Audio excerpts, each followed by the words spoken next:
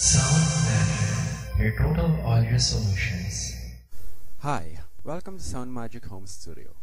Before I give you the Destiny Pilkey's live version of Love, let me give you some hints on how I edit and enhance songs, such as those video responses I posted for New Actress 101's videos.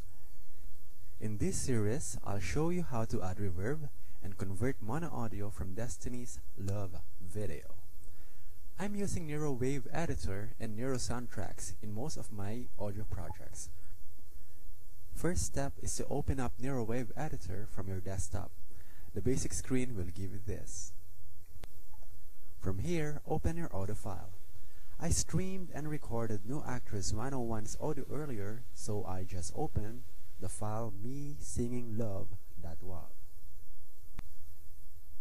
Here we had an option of uh, creating effects such as reverb, chorus, reduce or eliminate noise, simulate stereo effects, adjust high, low, and midtones, transpose music, and many more. The first thing I did to Destiny's voice was to add reverb. Here's how to do it. First, highlight the part of the audio that you want to render effects. Then, click Effects menu on the top of the screen, and then click Reverb. Here's the original version. L is for the way you look at me. I will exaggerate a little so that you'll hear the difference. When I click Church, here's how it sounds. L is for the way you look at me. Next, I add stereo simulation by clicking Tools, then Stereo Processor. Use stereo speakers or headsets to monitor the changes. So again, hear the difference from our basic original mono audio to the stereo reverb version.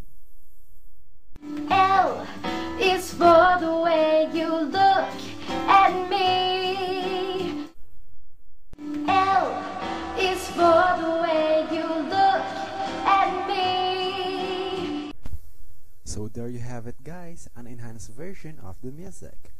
Now on with Destiny Pelkey's live version of the song L-O-V-E. Enhanced and edited here at Sound Magic Home Studio, Manila, Philippines.